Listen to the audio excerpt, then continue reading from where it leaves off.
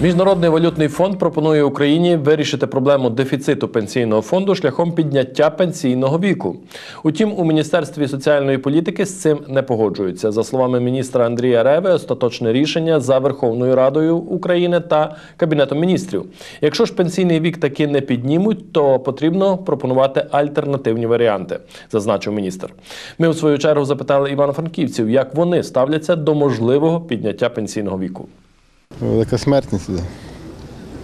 І практично це важкі умови. Так що це недоцільно. Принаймні ці роки, що є. В дальнішому, може, через років 50 чи кілька, там, то може так.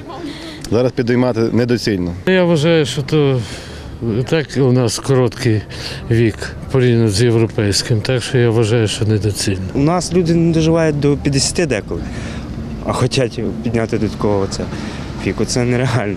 Я вважаю, що середній вік проживання е, в Україні досить невисокий і далі піднімати недоцільно, тому що людина повинна дожити до пенсії.